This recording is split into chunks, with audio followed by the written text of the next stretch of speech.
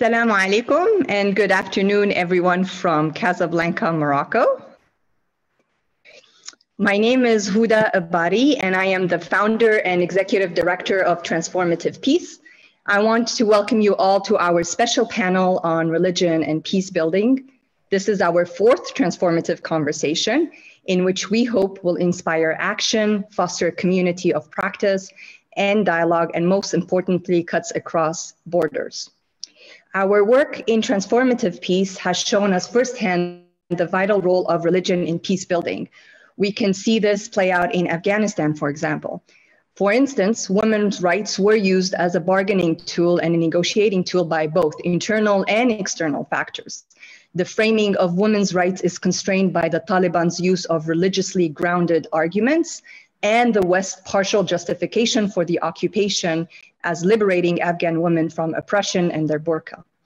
So, with such mistrust and aversion to West driven programming, even well intentioned human rights norms, or even the Afghan constitution, can be labeled as foreign. Afghan women's rights organizations found that cases basically based solely on Afghan's constitution relating to inheritance, for instance, uh, maintenance, divorce, or separation were actually rejected by the public.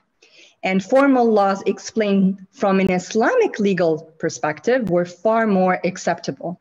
Organizations that engage with faith based leaders and were exposed to other Islamic experiences were much more willing to change their stance and their perceptions on what is the role of women in Islamic communities. So, with Islamic law having more credibility among the community and with greater opportunity for progressive interpretation, adopting Islamic legal framework to promote women's rights and respond to the customary laws that have been discriminatory towards women has shown to be absolutely critical. And this is just one small example of the role of religion in peace building. So, in this light, we are incredibly fortunate to have with us two distinguished and dear panelists, Reverend Dr. Fatimah Salleh and Ms. Manal Omar, whose work is firmly rooted in the principles of social and racial justice from a very faith based approach. So, welcome to you both. I would Thank first you. like, absolutely, I would first like to introduce Manal Omar. She is the founder and CEO of Across Red Lines, a pioneering organization that focuses on a holistic approach to building inclusive and diverse societies through its investment in women leaders. Manal uses her 20 plus years of global experience to advocate for women's rights through a faith based approach. Previously, she was the Associate Vice President for Middle East and Africa Center at United States Institute of Peace. Manal was named among the top 500 world's most influential Arabs by Arabia Business Power in 2011 and 2012, and also recognized among the 500 most influential Muslims in the world by Georgetown University and the Royal Islamic Strategic Studies Center in 2009. MashaAllah. Um, she holds a master's degree in Arab Studies from Georgetown University and a bachelor's degree in international uh, relations from George Mason University. The next person I want to introduce is Dr. Fatimah Salleh. She is a reverend social justice advocate and an educator. Dr. Salleh received her PhD in mass communication from the University of North Carolina at Chapel Hill. Go Tar Heels. she also earned a master's degree from Syracuse University in public communication and a second master's in divinity from Duke University. She is married to Eric Sorensen and they have four beautiful children. She is currently the founder of A Certain Work, an organization dedicated to educating on the intersection of issues in faith, diversity, equity, and inclusion. I'm really, really excited having you both, especially like two powerful women faith based leaders talking about religion and peace building, which is mostly dominated um, by men in these, uh, in these types of spaces. So let's begin. We sometimes hear policymakers and analysts speak of either holy wars or you hear the word jihad, religious conflicts, in a way that implies as if economics, politics, or even resources couldn't play a determining factor because religion is the main and most important factor. Additionally, rhetoric linking religion to violence has sometimes also, we have seen it being used as a way to target particular religions or justify racism and discrimination. And we actually currently see this right now um, in the media framing of the Israeli occupation of Palestine.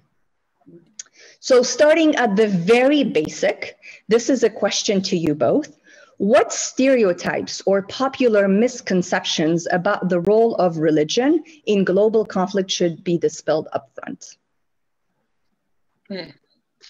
Powerful. I guess I'll jump right in then. um, it's such a poignant question. Um, it, I think one of the things that I would I would jump in and say um, something that Pope Francis already said, which is as dangerous as religious extremism is religious reductionism, mm-hmm. and I think that I get worried, particularly within the United States, because we tend to have an all or nothing approach. Um, and, you know, however you want to look at religion, religion holds incredible moral authority in different sectors and particularly mm-hmm. on the ground. And kind of the example you gave with Afghanistan, that's why it works is who holds moral authority. Um, and I was just speaking with the fellow panelists before, like I grew up on the Bible Belt. So as much as you want to say America's secular, um, it's hard to eliminate religion. And when we take it from the public square, when we reduce the conversation of religion, and particularly we tend to reduce it to fighting extremism, then we leave that field and that sector to be defined by the fight of extremism. And we forget all the original part of religion. Um, and I think it was um, Dr. Uh, Azza Karam from UNFPA who mm. first said, um, that religion, you know, it is the first responders, whether it was the church, the mosque, the temple, the synagogue, like that was the initial first responder. Um, I think we need to be careful not to wear rose colored glasses because mm-hmm. a lot of humanitarian was missionaries. And I think there's a legitimate allergy towards religion. So we need to find that balance.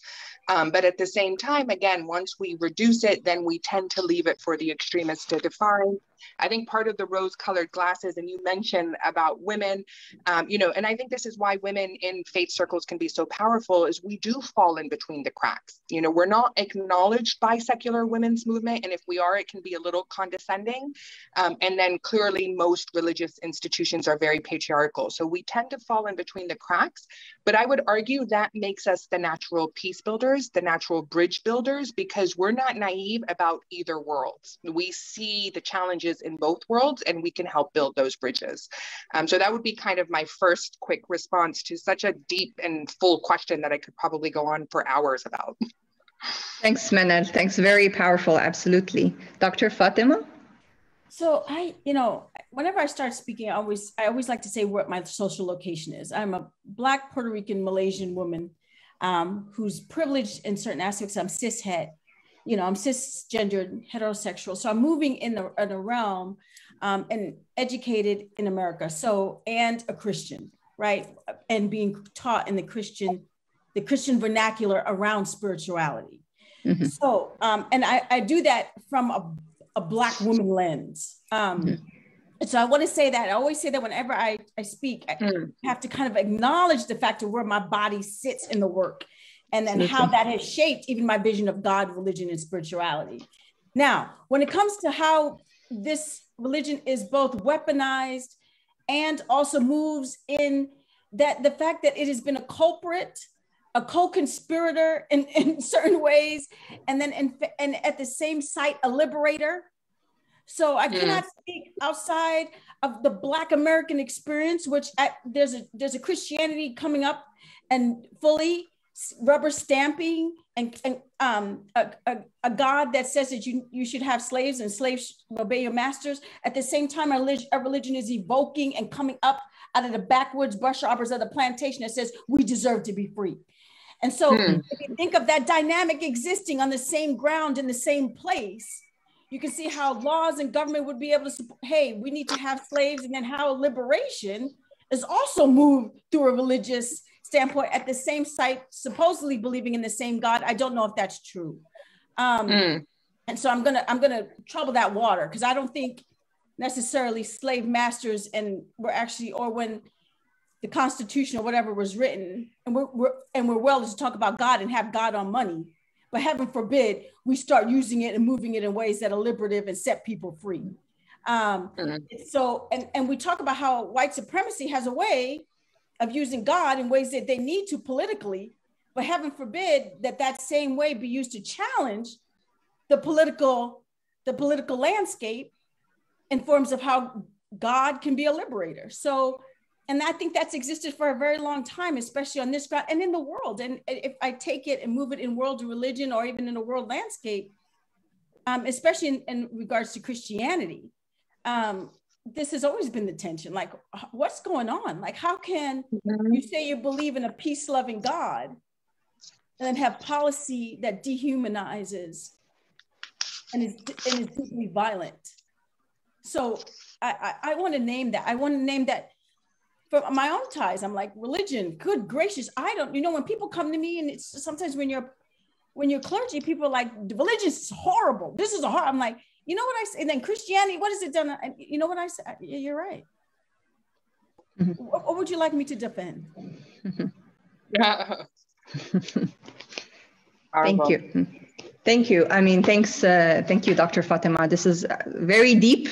And this is what this conversation is supposed to be about, you know, trying to uncover and and and and really dismantle these issues that are black or white and showing the complexities of it and also showing that it's not you know it's not you don't have an easy answer. And we have to see where we are positioned within these privileges that we enjoy as well to be able to really respond to these questions. Um, and putting liberation at the forefront, which is absolutely powerful and important and much needed to showcase how religion has been used either as a positive force or a negative force that you both mentioned, which takes me a little bit to more on um, freedom of religion or belief and the role of government specifically. Uh, Pew reported that in 2018, that the global median level of government restrictions on religion had reached an all-time high. The highest yearly increase was in, in freedom of religion or belief was seen in Asia Pacific region, where we saw large-scale persecution forced uh, displacement of the Rohingya Muslims in Burma, the detention of over a thousand Muslim religious prisoners in Uzbekistan, and widespread crackdown of various religious activities in China and elsewhere in the region, not just Muslims. So while social hostilities against religious groups remain a problem, uh, the majority of religious groups are more likely to experience discrimination or violence as a result of government restrictions. We can see this even now in France, for instance, with, you know, with, uh, you know, la laïcité, the government-led laïcité and what it means and how it imposes when you say the white supremacy and the role of white supremacy um, within our understanding of religion and the role of power as well. So with this in mind, what do you see as being the relationship between government limitations on freedom of religion or belief and social hostilities towards religious groups? Or how do these both of these factors interact to contribute to escalated instances of religiously driven violent conflict? Anna, do you want to I always get teary when I hear these kind of things. I'm just, I'm a mess. So just forgive me I, if I cry. no, no. panel. I'm just like. You no, you get your human moment. Of no. course.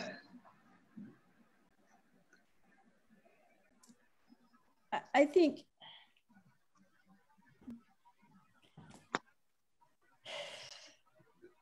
it's interesting that government restrictions on other religions are usually based in a religious ideology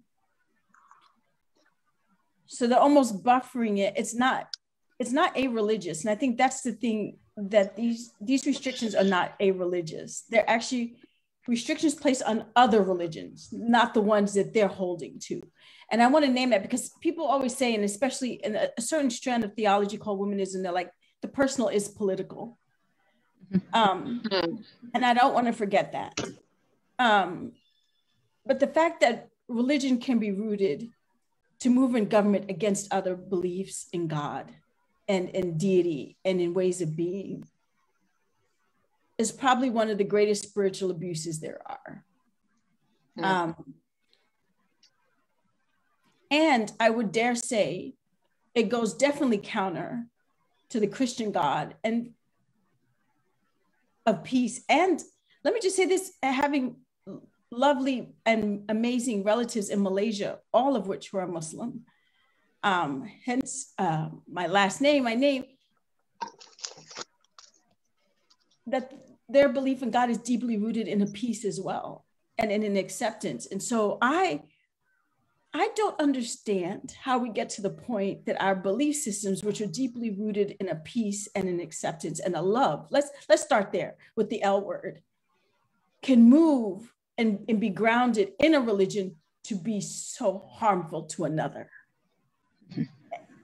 and, the dehumanization of that is deeply troubling. I just don't, I, I think my my one son told me, goes, I think God gets a bad rap. And I've been thinking about that, like, and I'm like, yeah, who is God's PR team? They're horrible. Like, it's just like, who says this is what needs to happen? And um, I'm I'm deeply troubled that religious freedom, as it goes down, I perhaps in my deepest of hearts, I believe that it is the ability for all of us to have our truths and to stand equally beside ourselves, each other in those truths. And that we don't get to go around in the world and weaponize what we hold as a spiritual truth against another. And, and, that, and that, when you say in medicine, first do no harm, mm-hmm. I, I wonder how religion and spirituality have not taken that same stance in some ways. And so I'm deeply troubled by how much religious freedom has been stripped away and how much violence comes in the way because it's not a vacuum, it doesn't leave a hole. In mm-hmm. fact, it hasn't it hasn't a repercussion of which deep violence usually follows intolerance. Mm-hmm. Thank you, thank you. Uh, I think one of the keywords is also the uh, that you mentioned that stuck with me is the the dehumanization. And once you dehumanize, it's so easy to do anything else. It becomes easy to kill, um, to to not see the other as worthy of having even a life. Uh, Manal, do you want to add something to this to this question? Yeah, absolutely. It's actually a question I spent a lot a lot of time thinking about, and I would say something that brought me to both faith and women because um, having worked on the front lines of so many conflicts uh, it, it, you know there was inevitably the question why are we not preventing this? I think that's one of the worst parts of my career was seeing mm-hmm. almost every atrocity was so preventable. In fact we were flagging and ringing bells and being ignored um, and so I would step back and really ask myself, like, why isn't being prevented? And I want to go um, kind of to that point of, you know, the personal is political and taking it one step further and saying it's by design Mm-hmm. You know, when Karl Marx said that religion is the opium of the masses, mm-hmm. there was an acknowledgement that the inverse is also true, right? It's also the mm-hmm. great mobilizer. And mm-hmm. so when you're in a conflict zone, you can't really say, okay, I want that piece of land, I want that well, I want that cattle, I want that oil. But if God tells you to go get it, you have a completely different argument. And mm-hmm. so we've seen that play out in many, many different ways. And I would say that the tool of freedom of religion is also, unfortunately, something that can be easily weaponized. And, and we've seen that over and over. Mm-hmm. Um, and I want to make sure we don't take out the design and the political, because if we forget that it's designed this way, yeah. um, mm-hmm. if we forget that there are the powers that be that understand human nature and archetypes, and they've designed the conflicts in such a brilliant way to convince us that peace is not possible right? Mm-hmm. When you're talking about a family feud of the Abrahamic faiths of Israel and Palestine, you're going to, you know, throw up your hands in the air and say, I don't know what to do. Um, whereas the logical response is God is not a real estate agent. He did not come and carve a slice of land and get two Thank populations you. to fight over it. And let's look at the resources that are underneath. Let's look at the real trauma and fear you know when we look at you know uh, like the actual conflicts and it's a quote that i use from father richard rohr which is trauma that's not transformed is transferred Mm-hmm. And so, just like there are equations and ways to design, the peace activists, I would say those who really are rooted in faith and spirit, know the unqu- equations to undo as well if space is created. And that's my way of kind of reinstilling hope because I've seen it. I've seen some of the worst atrocities in the name you know, beautiful response of neighbor with neighbor and stuff also in the name of religion. Now, just one thing on the power play.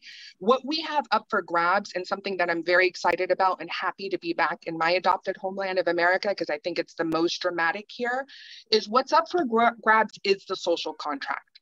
Um, the social contract that was based on fear and scarcity, it's falling apart our beautiful youth, God bless the new generations who are coming out strong, not mm-hmm. taking the status quo, you know, things that my generation were outraged by but worked around. The newer generation is saying, why work around? We're going through and we're dismantling. Um, and with that, I have a cautionary note of, you know, be careful of anarchy. you know, as someone who's lived and witnessed it, you don't want that.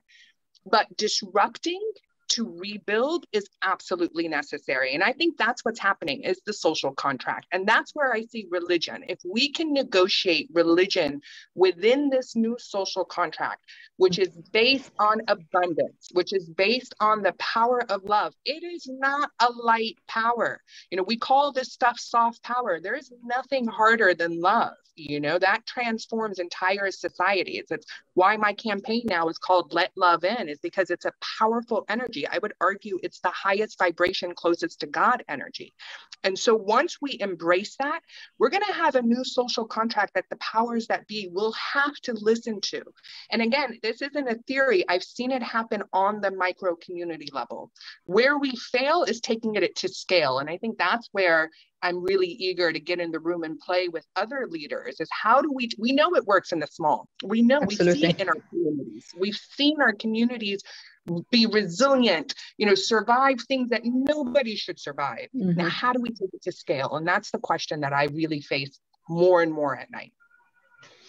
Thank you. Thank you, Manal, for that and for also giving examples to our viewers. Uh, you raise uh, something that actually fits really nicely into what I wanted to ask, um, which is a little bit some of that tension of re- the role of religion and also secularism in terms of peace building.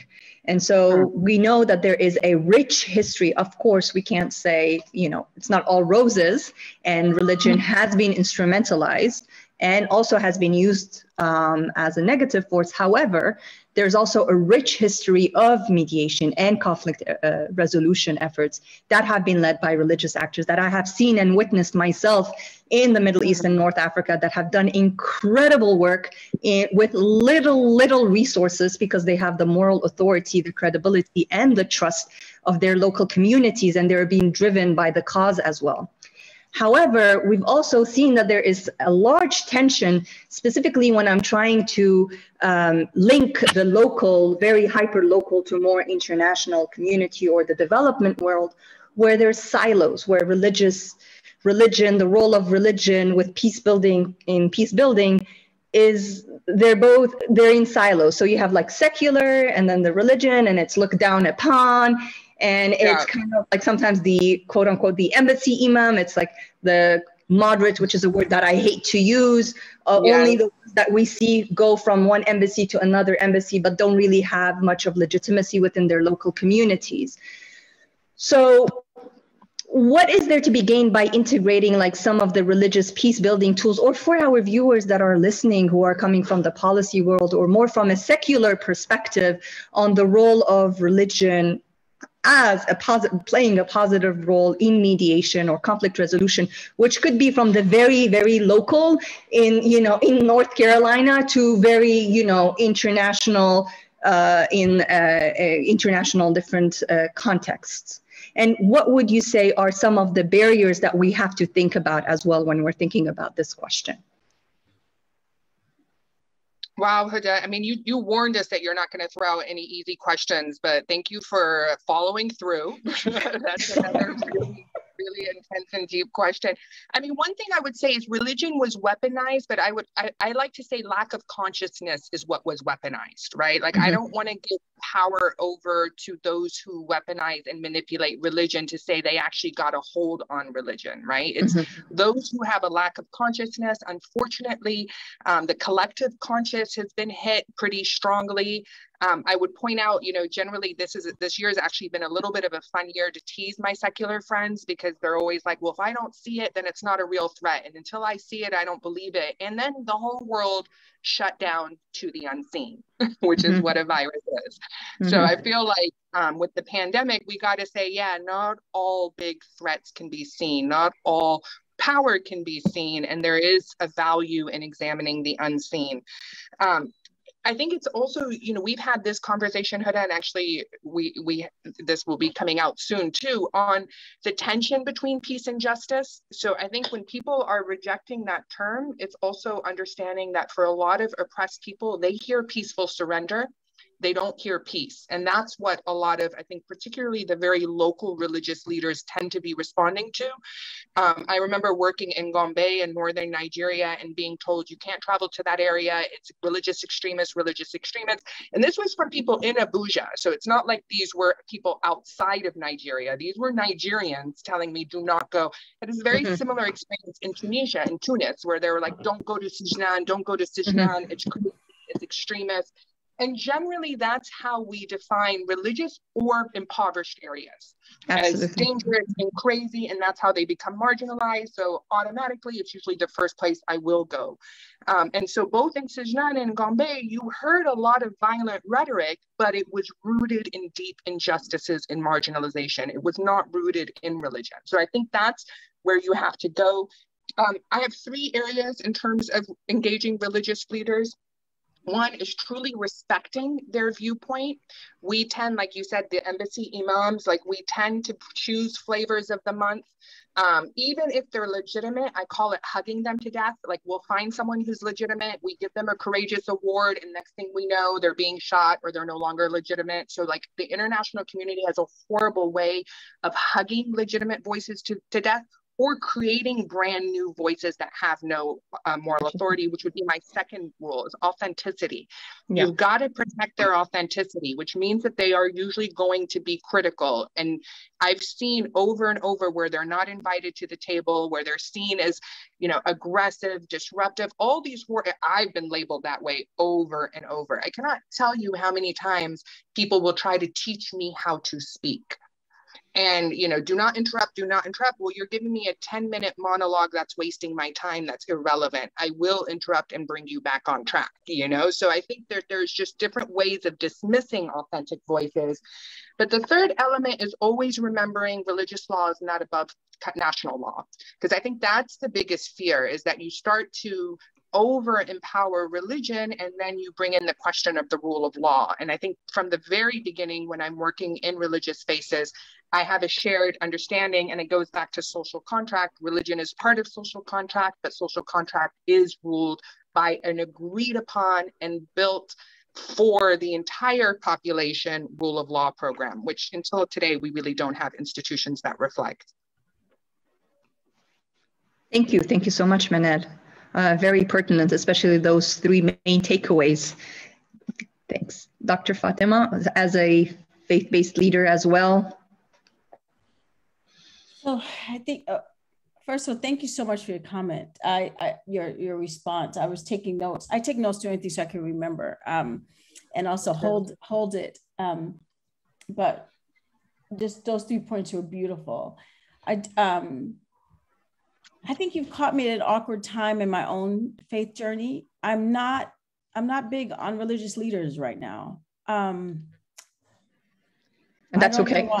And uh, that's okay. I, have been disappointed. I, I, I, I want to. I, maybe I want to reconsider. and that sounds. I know that sounds. That's okay. I've been. Believe me, I've been disappointed by many, so it's okay. I'm just like, oh, do we really want? yeah, I'm like, do we really want to kind of, you know? And so I'm yeah. going to hold that intention that I'm at a space in my own life that I don't know if I want to put that much in the hands of religious leaders. Um, first of all, I think ordination and who gets to be religious leaders is deeply problematic and has a lot of systemic oppression in it. And so, mm. even who mm. is holding these religious leaders' positions is deeply problematic in many ways. Um, mm-hmm. And so, and then we're saying, oh, from that bunch that had a deeply problematic, oppressive um, route, why don't we pick our? And, and, and I'm like, ah, and I don't think that, especially in Christianity, which I said from my lens, we have really um, interrogated who can be religious leaders um, okay, well enough for me to believe that I want to place that much trust in who we've chosen.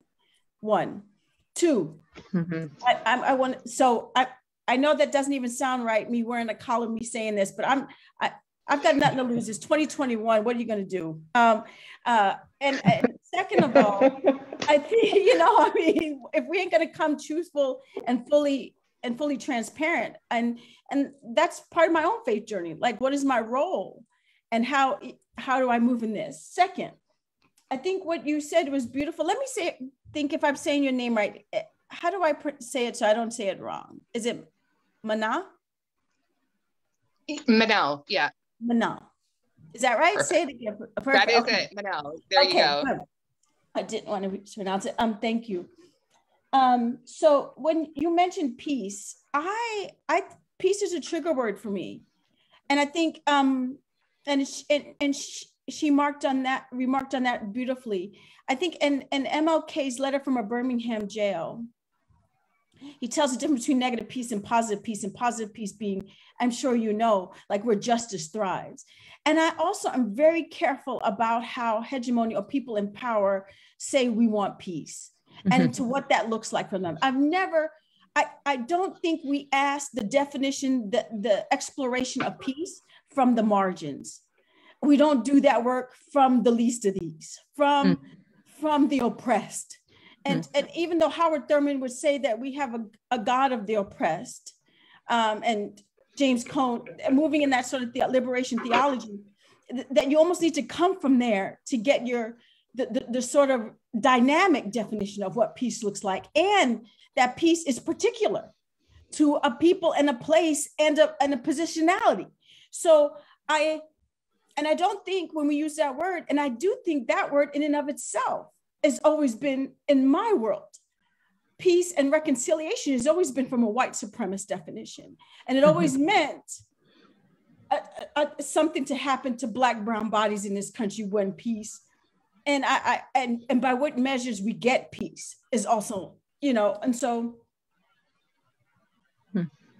I don't I basically what I said to the whole question, I don't know.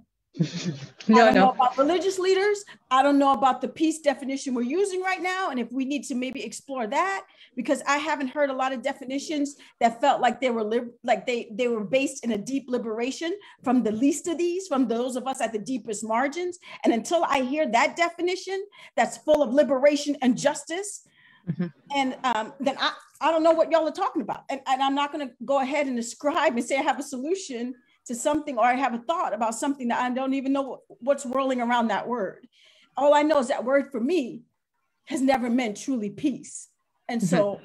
I'm holding it in suspension until we can wrestle it out and we can know the particularities of it as it exists in bodies and places where it will look different. And I do want to say this about religious leaders. Religious leaders, especially the ones leading leading the forefront, from Malcolm to Luther, Martin Luther to Martin Luther King, they all switched midway through. They were like, uh, I don't know if this religion thing is working the way I thought it should, you know? And and and so you get religious leaders who are actually questioning the religious systems they're in or being rejected from the religious. So I, I also want to give a fact that you get these socially these socially minded, social justice minded ministers, people, religious rooted people, especially Christians that I'm, I'm naming. And I don't think we give enough time to that, the transformation of what happens mm-hmm. to us on a religious journey that could take us wildly different and move us in a different faith journey and, and allow that to happen. So I guess to your question, I don't know. No, no, beautiful. I mean, that's, that's in of itself a, a, a, response. And you see, it's not just me, Manal, asking crazy questions, but the responses I'm getting back yeah. to react to are as challenging as well, which is what it's supposed to be. No, thank you, thank you. Um, I actually wanted to first thank both of you for really sharing personal experiences because when we talk about our faith journeys, myself also going, having gone through a long uh, personal faith journey and working on conflict resolution, peace, when I mean peace, positive peace that is one of liberation, of social justice, of freedom, of people living in dignity and in freedom. So that's what I mean by peace. Um, and I've seen the role of, you know, religion playing a positive role, but also religion being weaponized, as Manal said, and being used as a negative force as well. But I just want to first say thank you uh, for sharing both your experiences. And uh, one question that is really interesting, a comment, uh, Dr. Fatimah, that you said that came to me is like, who gets to be called a religious leader? It's really reminded me that when I was at the Carter Center, we were doing this project that was inclusive approaches to preventing violent extremism. And so we were basically looking at Islamophobia and we were looking at the rise of uh, right wing extremism, the rise of like Daesh. It was in 2016. And it was really interesting because to engage with women, faith-based leaders, we had to say faith-based, you know, religious and community faith-based leaders. Uh, so it's kind of this positioning or like who questioning the power structures yeah. and also how you, the gatekeepers also uh, of uh, of of who gets to be called what and who is in, um, but also the, the responses from you, Manal, and com- comparing, it's the diversity also of experiences, right? Um, coming from an Islamic framework and then from a Christian background as well, and uh, the beauty of having this kind of conversation. I don't know, Manal, if you want to respond or if you have anything to add to what Dr. Fatimah said. Oh absolutely. I mean like just a lot of amens to what dr fatma said is for sure. Um, and and something that landed almost like a ton of bricks was the idea that like you know not only did these religious leaders question their faith their faith questioned them um, or their their community. And I know that that's definitely something that as a peace builder I've faced over and over. One is I don't belong to one community, right? There's tons of communities, and sometimes different parts of my identity may be at odds. You know, particularly women and faith. Like there's a lot of moments of reconciliation between them. Um, but you know, kind of going to the definition of words and something that you know i've said before but never really internalized until i came into a faith space more and more which was the power of words. And i tease my nieces. I'm like there's a reason they're teaching you spelling. Like there's magic in every word. There's a spell behind every letter. And i think that that's where for peace, like I said, one of the hardest things was seeing how preventable the atrocities I saw was um, was seeing, you know, money being, you know, thrown at Iraq as the Central African Republic was struggling for basic aid. Like those type of decisions made it really, really clear to me over and over. This is not about peace. This is not about, you know, humanitarian. It's really clear what it is about. That said, it doesn't take away my power to create. And I think that's where, again, I want to encourage more of us to come in the room because that definition of peace for you know a palestinian who almost all the conflict resolution and conflict management and peace theories were written by the other side so, you know, it, we're playing a game, we're playing a set of rules, we're playing, you know, a civilized language that was not written by us or for us. So we will always be at a disadvantage at the mediation table. And I think um, the way Oslo came in and took over Madrid was a real historical example of when actual peace was being negotiated the entire European world flipped out, created Oslo, and put us at a permanent disadvantage that we still have not recovered from. So, of course, peace is, is, is a difficult word. I'll tell you another word I have a problem with, which is resilience. Um, and you know something uh, you know i'm resilient as hell and i'm you know power to my grandmothers and my ancestors for building you know and i really give them power because i'm i want fragility I'm like, how do we get to use that word? When do I get to be the fragile one where everyone cares about what I think, what I say, and of course the answer to that is when you're in power. But you know i also resent the way people in war people who are oppressed the word being shoved down our throat is resilience which we are and we're proud of whereas the other side gets to be fragile. And and again i think of my ancestors bearing resilience and badge of honor and i'm saying no no i want the fragility card. I want to hide behind this for a while and see people tiptoe around us. Um, but all of that is created. And i think that's where um, I found my faith is in the journey of seeking, is in the journey of questioning. Um, and it's where I, you know, by no definition under Islamic law can you call me a religion, you know, a faith leader. It just it does not apply.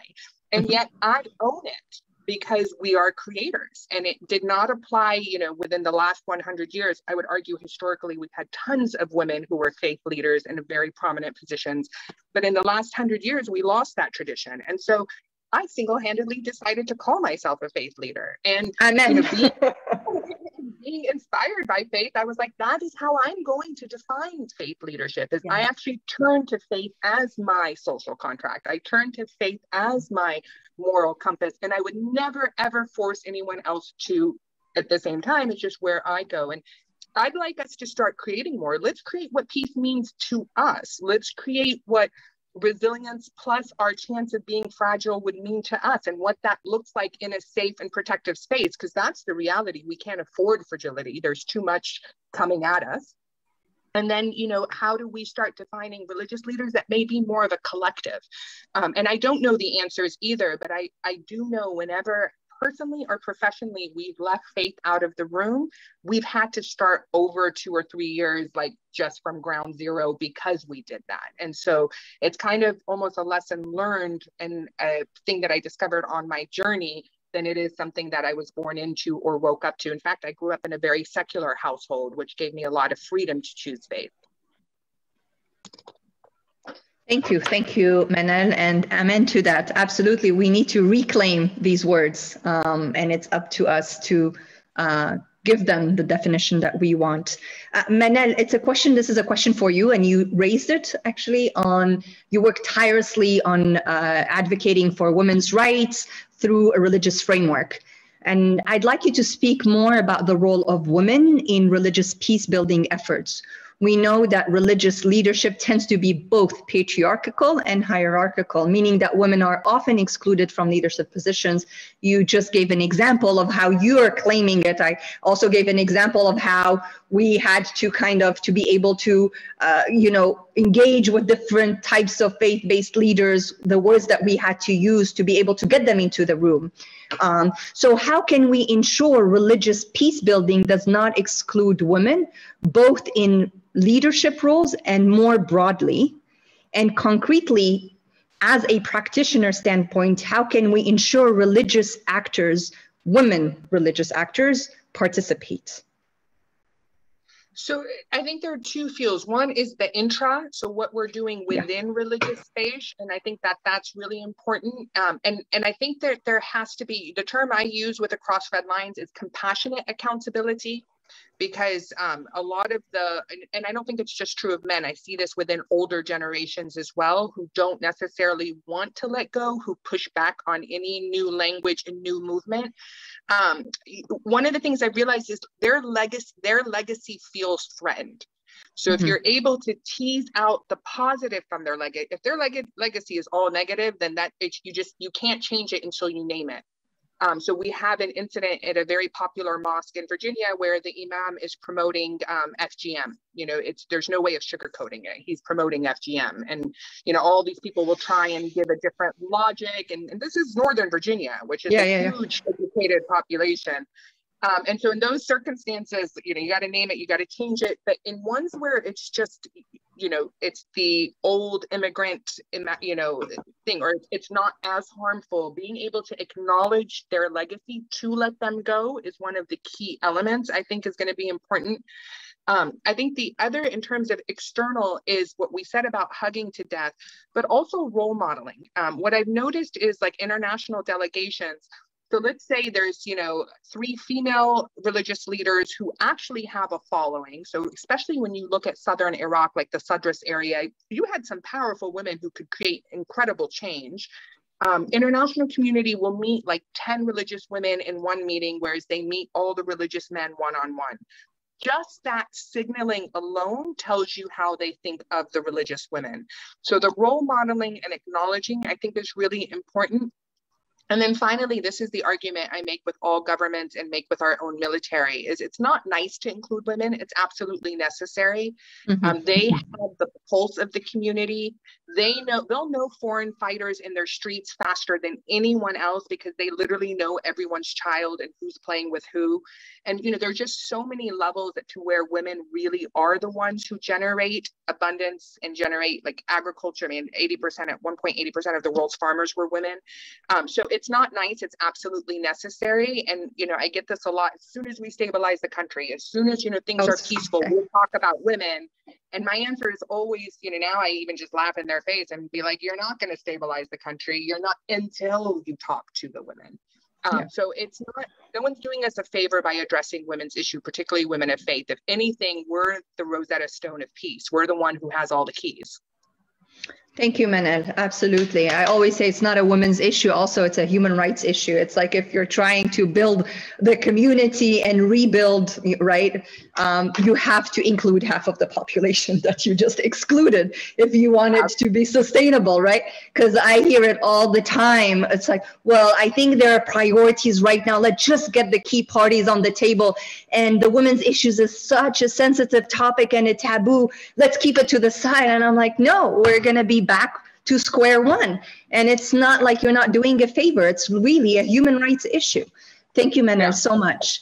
Um, Dr. Fatimah, do you want to add anything to this um, specifically on women, the role of women in peace building, in religious? I think it was, she said it beautifully.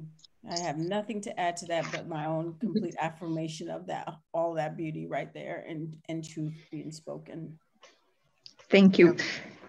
Dr. Fatimah, this question is for you. Uh, beyond the prevention and resolution of violent conflict, or you know, conflict, it could be also community conflict, or we we spoke about racism, right, or oppression.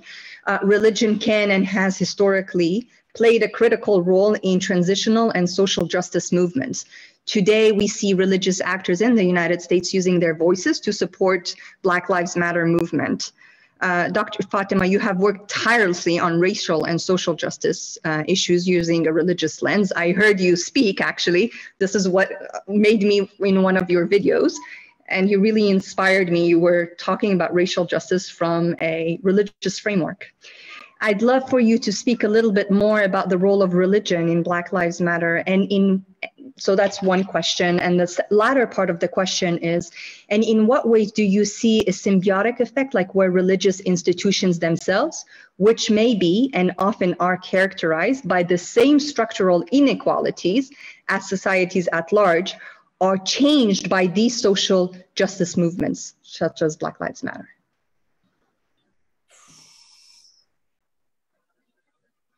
So I'm going to say this. I think so there's two things that I do. Um, one is that part of my work, I, and you caught me at a transition period in my life, as you can tell by my answers. Um, and I've taken the month of June off because I I realized that I needed to figure out how I'm gonna a saying of where and how I enter, that I needed to re-enter the work and probably needed to give myself number one time to grieve, second time to to restore, come back to myself, and and figure out what's next next in my path. And i say that because i think black lives matter um, impacted and part of my work is i teach at a um, christian seminary luther seminary and i teach a, a cohort of white clergy who are deeply impacted and want to do something about race and how do they how do they begin dismantling racist theology in christianity. So a good part of my work is like working in religious christian religion and with clergy and congregations and how they dismantle the racism in it. Now, Black Lives Matter, I've, I've been astounded at how the movement has been beautiful and supported and it's it's evoking now. Remember that martin luther king also said that like 10 or 11 o'clock is the most segregated hour in america. I dare say it still is as far as christianity is concerned. Where we go to church is still deeply segregated. Um, and then they call them some reconciling churches where they try to be multicultural and i use the word try and um, because most of the leadership ends up still looking white. Um, mm-hmm. So when you have black brown bodies in your congregation, so I say that because I think what Black Lives Matter movement has done is is made, and it answers both of your questions. It's made the movement so uh, pervasive and at the forefront of conversations that religions, that Christian denominations are actually wrestling with it, mm-hmm. if if they had a tendency to it to begin with. Mm-hmm. And let me say this: I work with clergy who are trying to bring these issues to the pulpit, and they're receiving huge backlash so hmm. part of my discussion last last yesterday, what am I talking about last month? That's how you know this has been a long time. Yesterday, with clergy, Presbyterian, Lutheran, um, Pentecost, it in this group was like, what do we do when we're talking to a predominantly white congregation on Black Lives Matter, and they are rejecting and rejecting the message and coming down on us, and we're losing congregants on that. Mm. So, so, so then the question hmm. becomes mm. when we start speaking this, and wanting the church to move in justice and social justice. And let me let me be clear: white church, white Christian space that is predominantly yeah. white. Mm-hmm. And if they're they're catching on or wanting to do this work, there is almost a penalty attached mm. to doing this. So that that has been a hard discussion, right? And I think you get black churches and black Christian churches, and they've been talking about social justice as it links to a liberating God for centuries. So yep. this ain't this is not an un, new. You know, mm-hmm. this is not a new dialogue. Black pastors moving, whether it be Reverend Barber or whatever, they've been hanging out and doing this in the streets all the time. What is happening is that you're seeing that white denomin white previously are very white denominate denominations, Christian denominations, are now releasing books on how to do this work. How do we begin to tackle this work? And I want to say, working with clergy, white clergy in white congregational space who are doing this work and trying to move their congregations toward this are actually some of the most beautiful humans I know. But there is a backlash or there is a tension there hmm. on why you bringing the political to church. Hmm. Very powerful. Yeah. So, and, and I don't want to make it black mm-hmm. and white because I know that the whole sanctuary immigrant, how, how churches became sanctuaries, mm-hmm. that whole thing, that's that, you know, how they moved in that policy. So it's, it's everywhere that you're seeing, but particularly you asked me about Black Lives Matter. I also want to say this, and this may be unpopular too, but I, you know, I'm 46, I'm doing what I'm doing. Um, the civil rights movement was deeply rooted in a religious fervor. Black Lives mm-hmm. Matter movement, which partly is led by Black women, let, let, me, let me put that clear Black women and queer, some queer Black women. So, mm-hmm. and sometimes the church has not always been the best, including Black Christian church, to queer our queer and trans LGBTQIA plus brothers and sisters mm-hmm. and family. And so some of the Black Lives Matter movement was not moving alongside church predominantly because there was a sense in a way of which the church had rejected the bodies by which we're now moving in the Black Lives Movement, rightly so, right? So I heard uh, Dr. Renita Weems, Reverend Dr. Renita Weems was like, we're passing a torch, but the church, almost the Black church, almost has to get on board and, and be like, what are we doing? And how are we moving in Black trans life? Black trans life matters and how is that moving? And that was the propulsion of black lives matter movement. Those were the bodies that were starting this discussion. So the, the church as a whole as far as christianity and what it's doing in american soil is actually coming to face some of its deepest prejudice mm-hmm. within the black lives matter movement whether they wanted to talk about it or not. Yeah and i want them to talk about it Like, Black church, what are you doing with our queer and trans brothers and sisters and family? I want to talk about white church. Why is it so hard for you to think that you, you're actually linked into this racism, that the Christianity, as Jennings, Dr. Willie Jennings would tell you, that Christianity and racism have been braided there from almost existence. Like we can't do this work and unbraiding it, or the diseased imagination around God. Like, so you get me preaching. Sorry, that's the Baptist in there. No, that's great. Absolutely. No, Amen. Very powerful. And highlighting also the need for a really an intersectional approach that is very much needed but also, you know, by sharing your experiences and the struggles in your journey, the the the, the challenge and the difficulties and the need for self-care, right? And, uh, yeah. and healing to be able to do this work and being able to pause and take a deep breath and say okay i need the time to to be able to do this as well. I'm i'm cognizant of the time. So before we continue the conversation i want to ask the audience if they have any questions. Please uh, type any questions you have in the chat. We will be taking them. We have another 10 minutes before we conclude and while we're waiting for some questions, I wanted to ask Manal if you had any kind of response or um, you want to say anything to add to what Dr. Fatimah said. I mean, of course I do. How can I not? There's so much that mm-hmm. she said that is so powerful, but I think this is more of a testimony and a validation than, than a comment.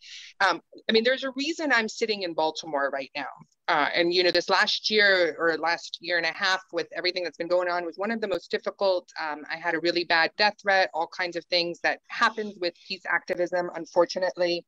And when I really thought about who I would go to, um, I went to the African American Muslim community, uh, which was like a second family to me. And you mentioned civil rights, and I think it's worth mentioning like that. For me, I always say is the tip of the arrow. You know, all of us who came after were building on the waves of the original civil rights movement. And I think that's one of the things that also gives me hope is that we're finally, finally acknowledging and connecting. And what you described as the church, I think every religious institution, and I would say and hope every religious community is having to face to some one level or another. Because whether we were active or came later, there's a compla- complacency that comes with silence that I think everyone is now becoming more and more aware of.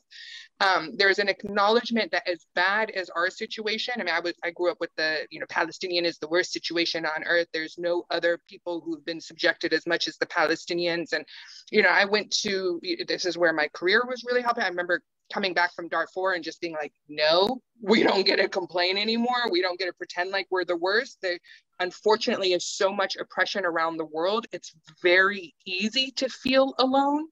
It's very easy to feel like you are the forsaken that the books talk about. Hmm. Just in our unity and recognizing that we're together. I mean, I'm witnessing things I never thought I would witness in my lifetime. You know, I remember some colleagues from South Africa kept telling me, we never thought apartheid would end. We only knew in the morning we had to keep trying. And that's where I was two years ago, was just kind of accepting status quo, uh, maybe low key hating on humanity. Uh, and then now, two years later, I'm recognizing, no, we're actually just been in that deep slumber. Again, every book warns us about. We've been in this lack of consciousness. Um, and I, I see, I don't want to say we're out. We bought time is what I keep saying is we've bought a little bit more time but we can course correct. And I really, really uh-huh. believe in that. This conversation alone, listening to Dr. Fatimah, the questions she's raising, that tells me we are course correcting. It's just remembering we're not alone in the process of doing it. And, and that's, I don't know, I feel like I found another sister, Dr. Fatimah, and I'm looking forward to talking to you about my Just Peace program. But yes. the more I have these connections, Huda, you and I have talked about Just in Peace for a while and about the role of religion. This is what fuels me. I don't believe in the systems. I don't know if I believe in the temples and the bricks and mortars of religion. But when I hear women like you, when I hear people of faith coming together, when and, and that's anything, that's not about God. Faith is just knowing there's something bigger than you. That's yeah. how I define it. Then I have hope. So thank you. You guys have really just injected me with so much hope today. And I got a long day ahead. But I just wanted to acknowledge and say thank you before the questions start rolling in. Thank you both. No, th- thank you so much, Manal, for also, you know, connecting the struggles and, you know, the power of, of, of seeing the similarities and being able to work together um, and creating really these bonds of solidarity that are much much needed and cross borders. I'm here in morocco and look i mean there's so, so many similarities um, um, and these conversations inspire people across different geographical locations. So thank you both. I have one question coming in, which is uh, what is the future of religious uh, peace building? How can it be more effective in the next decade?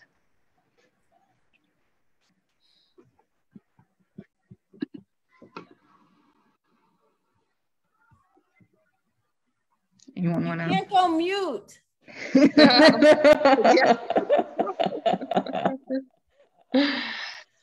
um, my dream, my dream is the future of religious peace building as we move more towards the collective you know, I think that, you know, we're, we're holding our breath, you know, waiting for another Malcolm, waiting for another MLK, waiting for another, um, you know, Gandhi, another, you know, religious leader that's going to come in. Um, unfortunately, in the Arab world, we go as far as back as like Salah ad-Din. Like we can't even think of anyone modern. Like we go far, far back in the history. Um, and, and I'm just so inspired by the youth movements. Um, mm-hmm. and, and, you know, and, and and I and I come from a you know place where at 46 in meetings people when they say let's hear the youth voice they'll turn to me because they conflate women and youth. They think we're the same. So I'm not talking about 40s youth. I'm talking about the really really young. Um, I'm also equally concerned because if you watch or read what they're watching and reading it's all doomsday so the fact that they've taken on such a negative view of the world personally pains me because there's always hope. There's like, you know, we've been through all kinds of things and we know there's always hope. Um, but that's where I think the next that's where I think the next um, leadership will come from is a collective. It's not going to be an individual. Um, I don't know what that will look like, but I'm definitely committed to creating what would a horizontal collective community leadership look like, where we eliminate the need for hierarchy and have a different way mm-hmm. of checks and balances. And that's really what I'm looking towards creating because I don't think it exists, but I know we can create it. I like the positivity and confidence, Manal. yes. Dr. Fatimah? I, I love it because I don't have it. So, uh, so I'm like, okay, I'm just gonna go ahead and live off of you. No, this is this is great. This is why this is great. Share, share. yeah, we should, and share some of that. I think I'm moving in what Miguel de la Torre, um, Latinx theologian, would say was that we malign hopelessness. But in the life mm. of the mm. hopelessness means that you've decided that what, and I've decided in my body, in my experience, that I've placed my hope in the sometimes in the wrong things. And that's where I've learned very starkly, and that I have to be more discerning about my hope. But Miguel de la Torre says that hopelessness sometimes drives the immigrant to find hope anew somewhere else. And you take the bravest risk, you move yourself, you decide to do the bravest things because yeah. this place or this thing no longer holds hope. And that hopelessness actually is not as bad as you think. Anyway, beautiful. If you ever get to read his, like his lecture and his little sermon on that, and I want to say that my hope for peace building is that we reimagine. And I think what you're saying beautifully, I'm pointing to you, but it's, I don't know if we're all the same. Um, uh, but when she was talking about the um, religious peace building, I think the biggest thing for me is that with religious peace building, I hope the younger generation that she's mentioning is the reimagining is there's a reimagining happening and that reimagining is divine I want it to be mm. deeply rooted in a divine, faithful move that sees humanity. And so, if I have to think about religious peace building, it is deeply rooted in a reimagination that I think the youth, and when I'm raising Gen Zers, I absolutely love the questions you're raising. I absolutely like, well, mom, maybe if you start thinking about this and this and this, and some of the things I'm like, I'm actually appalled, but I'm like, oh, well, maybe like maybe people who are cruel are aliens. You know, you can't, be, they're not humans. we're, we're, trying to make them humans. I'm like, that's a good theory. Um, uh, so, and, and I absolutely love, and when I speak to young people, that from the millennials who I, you know, who we always say as a generation I absolutely adore, and these Gen Zers coming up they are absolutely asking the right questions. And i and, and i almost want to put into the universe the energy of the reimagining that is deeply liberating and that breaks the bounds and the confines of which we have placed what i think is a wild and untamed god.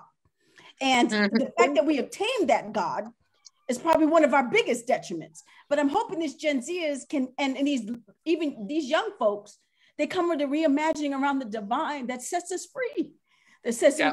Maybe you've been reimagining who God loves and who how we do love all wrong. Maybe you've been Beautiful. setting up barriers that never needed to exist. And that is what I think religious peace building to me. It's a reimagining of what religion can be and how it sees the divine. That is a faith journey I'm willing to take over and over again, no matter how wild and untamed and risky it is. That's where I'm Beautiful. hoping. Beautiful, beautiful, Dr. Fatimah. You, are inspiring me. You know, it's I. I need to come to North Carolina to Durham. Let me know the next time I'm there. Um, thank you so much. Thank you both, really, for such an inspiring, uh, thought-provoking conversation that is honest, outside of the box, reimagining, collective. Really, it's been very, very powerful. Um, I'm sure our viewers are also very grateful for both of you to take time from your busy schedules to come and share with us your personal experiences, um, you know, your expertise. You've also shown from both different experiences how systems of oppression are not isolated from one another. In fact, they intersect in a number of significant ways. And I want to conclude with Dr. King he said, injustice anywhere is a threat to justice everywhere, and we are caught in an inescapable network of mutuality tied in a single garment of diversity. Whatever affects one directly affects all indirectly. And I'm saying this from Casablanca, Morocco. Um, so thank you both again.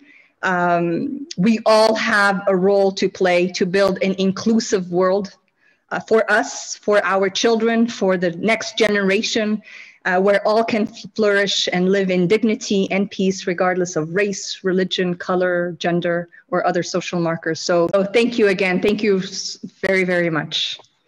Thank you.